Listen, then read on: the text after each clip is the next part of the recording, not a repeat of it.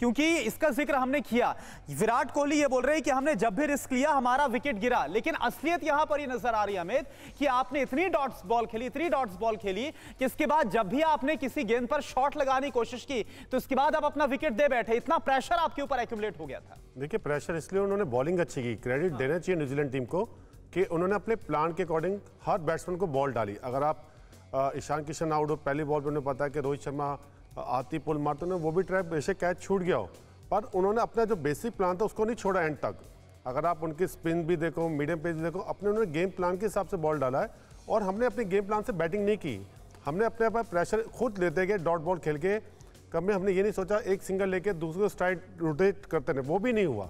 जब आपके छः ओवर के बाद आपका नेक्स्ट बाउंड्री उन्नीसवें ओवर में आ रही है तो सोच लीजिए कि जो बीच के बारह ओवर हैं, कितना प्रेशर किस प्लेयर ने लिया? विराट कोहली ने लिया, रोहित शर्मा ने लिया, ऋषभ पंत ने लिया। जब आपके टॉप थ्री जो बीच में खेलने वाले प्लेयर अगर इतना प्रेशर ले लेंगे तो आप हम बाकी से एक्सपेक्ट नहीं कर बात भी कर रहे थे हमें मनोज सर से मैंने सवाल पूछा भी था।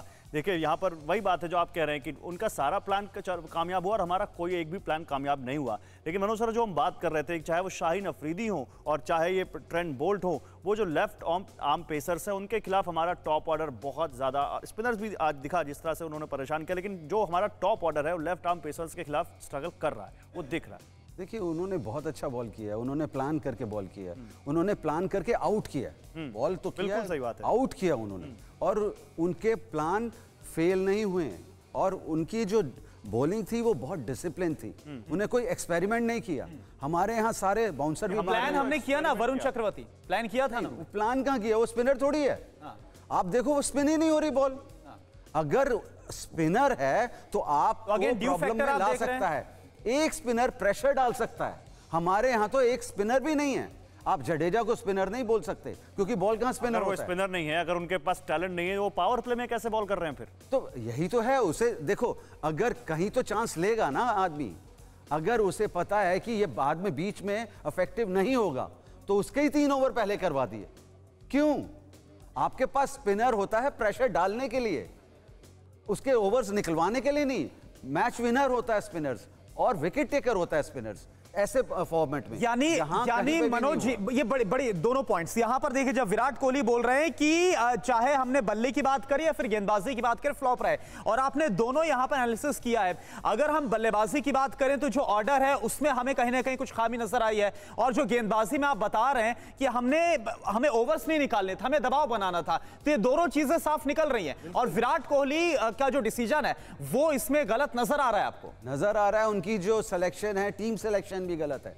क्योंकि स्पिनर कहाँ है आपके पास? वर्ल्ड क्लास स्पिनर आपने बाहर बिठा रखा है जो प्रेशर में बॉल डाल सकता है विकेट लेकर दे सकता है। यहाँ पर जो है सबसे बड़ी प्रॉब्लम हमारे पास लेग स्पिनर ही नहीं है। और जो लेग स्पिनर है वो बाहर बिठा रखा है। संजय जी क्या कहेंगे? मैं बिल्कुल मनोज भाई से बिल्कुल चलिए एक बार पॉइंट्स टेबल देख लेते हैं फिर आते हैं सर आपके पास। पॉइंट्स टेबल में देखिए नामीबिया से भी नीचे पहुँच गई टीम इंडिया। शर्मनाक यहाँ पर एक आंकड़ा जो आपको देखना चाहिए। पॉइंट्स टेबल में नामीबिया से भी नीचे टीम इंडिया जा चुकी है। नामीबिया दो में से एक मैच कम से कम जीती है। हमने दो में से एक भी मैच नहीं जीता है और हमसे नीचे केवल स्कॉटलैंड है। अब आप देखिए, इंडिया और स्कॉटलैंड को अगर एक आप खांचे में रखें, तब तो लगता नहीं कि हम सेमीफाइनल तक पहुँचेंगे एमपी सिंह साहब।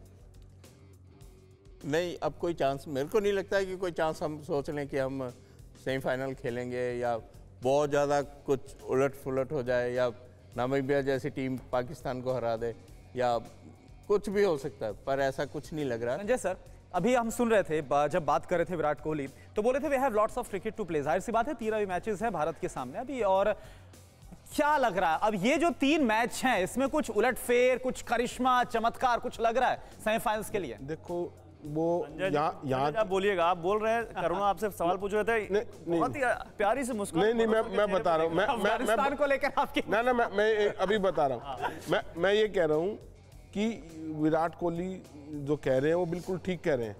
अब न्यूजीलैंड आएगी सीरीज़ खेलेंगे सीरीज़ में पूरी तरह मार देंगे तो ये हार हमारी ज़ीरो हो जाएगी। तो आप ये देखो हम हमारा माइंड सेट अलग है। हमारा माइंड सेट है सीरीज़ खेलने का अलग है आईपीएल खेलने का अलग है आईसीसी ट्रॉफी खेलने का अलग है। हमारा मैं कह रहा हूँ कि सबसे पहले हमें आईसीसी ट्रॉफी जीतने का माइंड सेट मुझे होना वो बात याद आ रही मनोज सर मुझे वो बात याद आ रही निखिल मैं आपके पास आऊँगा। अड़ी सोमवार से शुक्रवार शाम छह बजे सिर्फ़ टीवी नाइन भारतवर्ष पर।